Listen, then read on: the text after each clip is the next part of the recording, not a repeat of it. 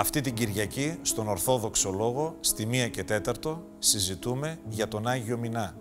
Τι έχει να πει σήμερα σε εμάς η ζωή του, γιατί είναι ο πολιούχος του Ηρακλείου, γιατί είναι πολύ αγαπητός και σήμερα στους πιστούς, συζητούμε με τους εκλεκτούς καλεσμένους μας. Στο στούντιο, ο Σεβασμιότατος Αρχιεπίσκοπος Κρήτης, Κύριος Ευγένιος.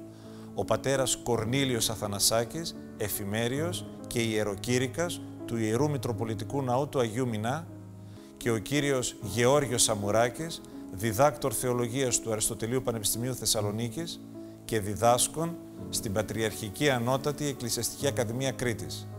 Αυτή την Κυριακή, στη 1 και 4, στον Ορθόδοξο Λόγο.